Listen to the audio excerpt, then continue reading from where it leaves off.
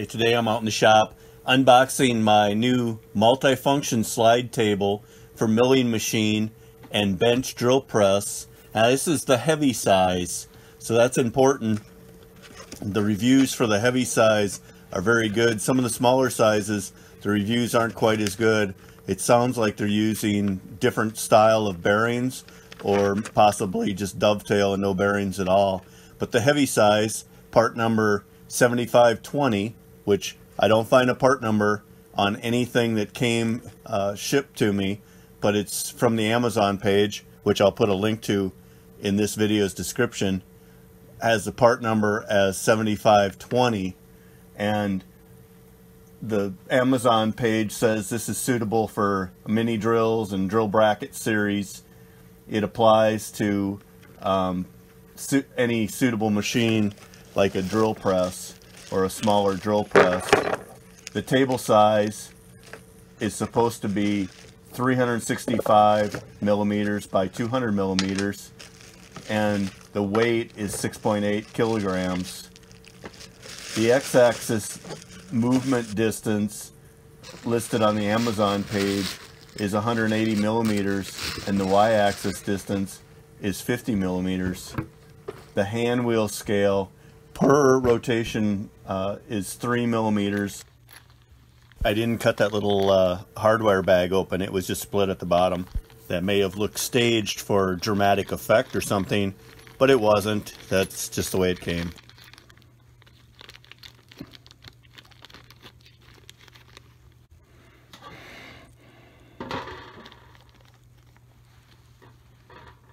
Here's the hardware kit laid out. It includes an Allen wrench or hex key for adjustment of the guide play, the two handles for the hand wheels, and the two mounting screws that go through them, and then the two clamping jaws and their hardware.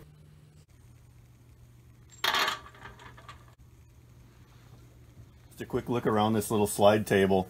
I like the heavy base. I like this cast iron base. My first impression is that I really like it. For a $100, I really like the linear bearings and the precision guide rods. The scale is adjustable and it's granulated in inches on the top and then uh, metric on the bottom. I believe these little thumb knobs are for setting the guide play.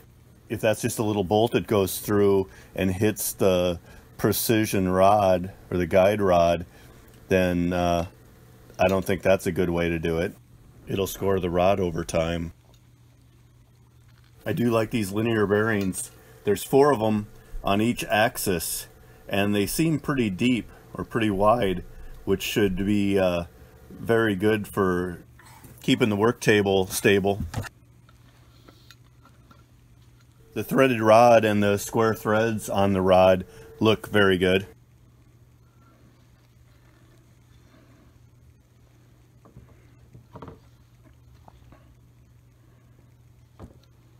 So assembly looks easy.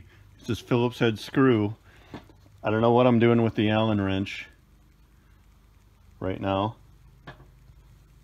But it's a Phillips head screw. Just inserted into the handle. And then it screws into here, into the wheel, the adjusting wheels.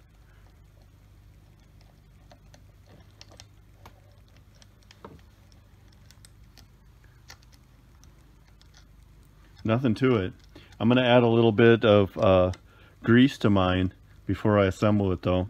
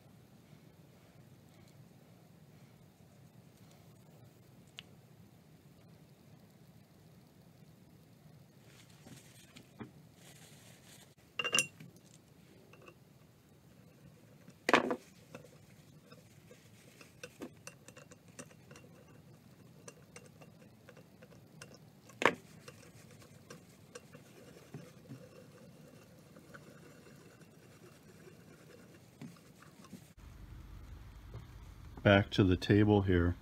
I'm not sure which model I have. The Amazon page. The only place I can find a model is down here at the bottom.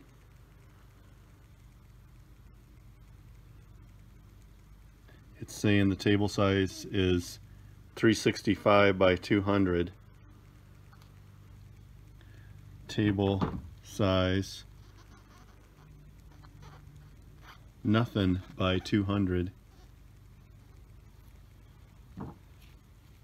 This is supposed to be the heavy duty, which is supposed to be the bigger one. then if you keep scrolling down in the product information, there's the part number, 7520. Did they just give me the wrong manual with this? Okay, so I'm dying to know. We put the tape measure on it. The table is 350 by by 100 350 by 100 we go here to the base try to go in the same spot.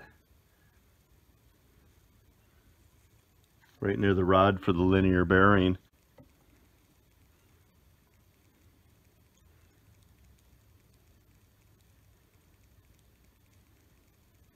Forty-nine point one three millimeters, and let's see if we go all the way to the the block here to the mounting block. Assume we will. Yep. So we got almost 50.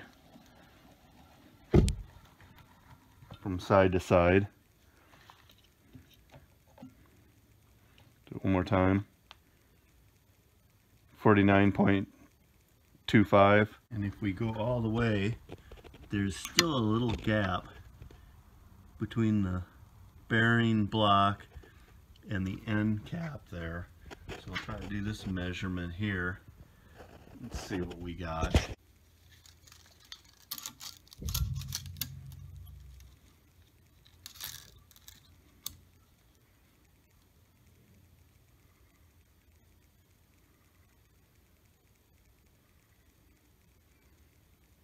almost uh, 180 not quite 180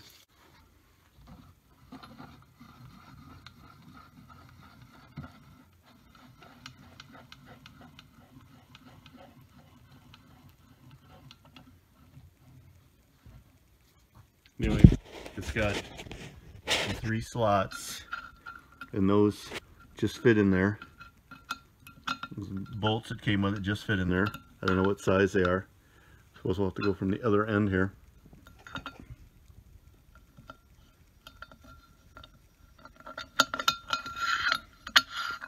For the middle. Pretty nice aluminum table. For uh, durability, steel probably would have been better, but it, nice finish on it. And cast iron base, cast iron um, mounting plates on it. It's kind of weird, the color here, but uh, that's what the Amazon page showed also. But overall, I'm very happy with it. So with that being said about the size, this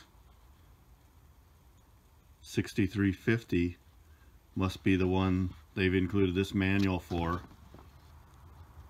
The pictures all look similar to what I have and that seems like it meets the 180 by 50 so working dimensions then the 3 millimeter. I don't know about the distance between grooves. And then the work table size that's correct I didn't think this manual was for mine at all but that must be the 6350 must be what it's included for so I have just one more thing I need to take it over to my new Ryobi 10 inch benchtop drill press that I also did a video on. and see how the mounting slots line up so I can insert some mounting bolts. I know both of these are little slide tables, but I was really wanting the larger slide table. So this is the review on the 6350. So hope you found that this was useful to you, but I'd really like to have the larger 7520 slide table. We'll see if that one is available and if I'm able to purchase that one and return this one. Do return it, then at least you gain the benefit of this review. Now that concludes the video. If you found it helpful, let me know in the comments and please subscribe. I look forward to your comments.